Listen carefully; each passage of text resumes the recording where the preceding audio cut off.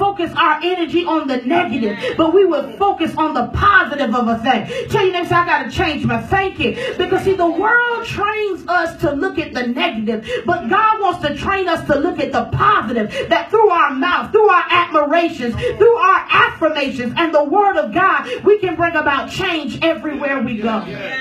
That's right. He begins to talk to them and he says, Look, I'm not going to waste my energy mm-hmm. on anything but this.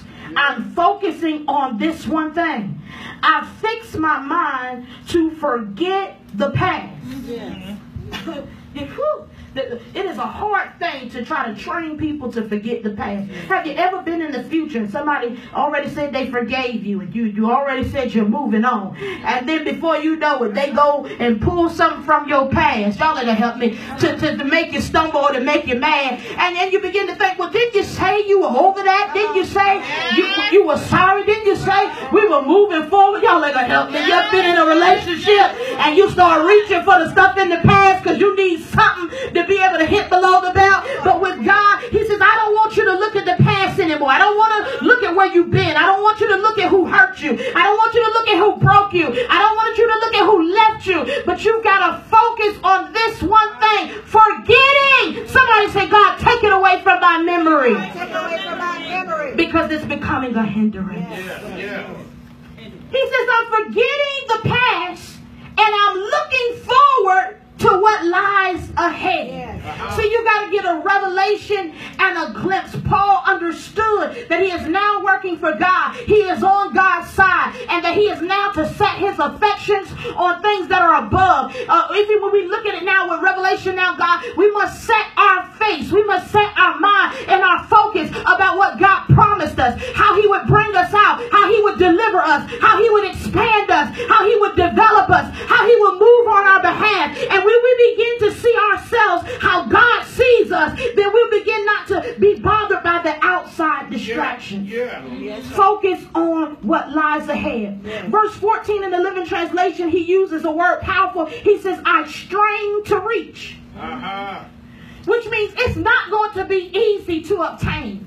It's not going to be natural. It's not going to come to me overnight. And so I begin to say, Lord, what are you trying to say? He says, tell them that the enemy likes to sidetrack us from the express train that God wants to bless us mm. because we're on a mission for him. All right. And many of us cannot focus because we allow uh, the enemy to sidetrack us.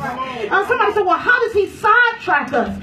Some things will come up in the pathway to distract us or to attract our attention to occupy us to take our strength and our thought. So you're moving in the direction that God has for you. You're focused on what God says for you. And then on the path, here comes a distraction. Here comes something to make you break or lose focus, to make you lose your attention off of what God said, what he said he would do for you, what he's trying to prove to you, how he's trying to move you. But tell your neighbor, you get sidetracked. You get sidetracked by someone who comes. Look, sometimes look at this. Oh God, this thing bless me.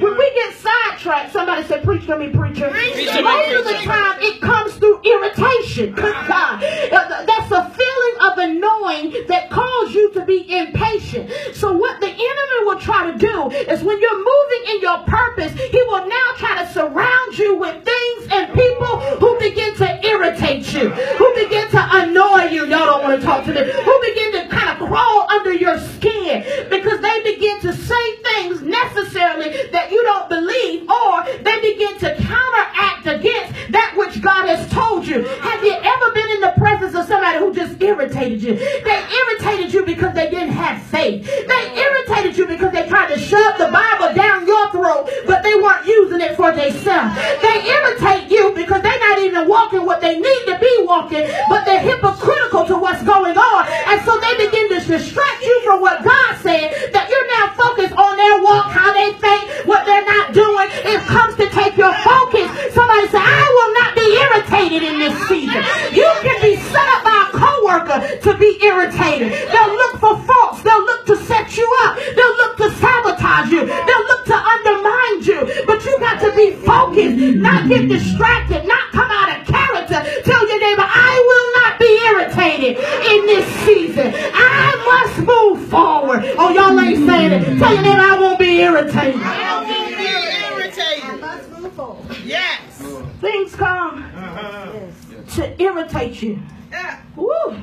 The next thing that comes is not only irritation, but it comes petty grievances. Good Lord. Excessive concern deliberately with important matters. Wow. Woo. We stop to pursue or to adjust. Wait a minute. You got a word, Apostle? So now we're not just dealing with irritation, we start dealing with petty grievances. We begin to see something or someone brings something to us to distract our mind that we spend more focus on the pettiness of the situation. Some things are not even worth our time or our energy. That's right. Have you ever been caught up in petty and you were, you know, you keep got going over the situation and they shouldn't have did this to me and they hurt me like this and I didn't understand this. And then you go for a breath and eat your food and you come back the next hour and you gotta still discuss petty. Y'all ain't gonna help me. And so after a while, you become obsessed with what happened with you. Obsessed with that person. And you begin to look for every flaw or every type of distraction you can find with them. To when you wake up thinking about them, you go to sleep thinking about them, you get in your car thinking about them. You can't even think about God because you didn't let petty get you. High five your neighbor and say, don't let petty get you. Don't let what people say, don't let what people do.